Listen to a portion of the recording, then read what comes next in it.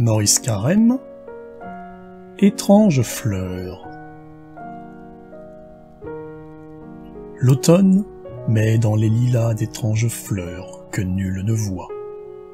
Des fleurs au ton si transparent qu'il faut avoir gardé longtemps son âme de petit enfant pour les voir le long des sentiers, et pour pouvoir les assembler en un seul bouquet de clarté, comme font, à l'aube, les anges les mains pleines d'étoiles blanches.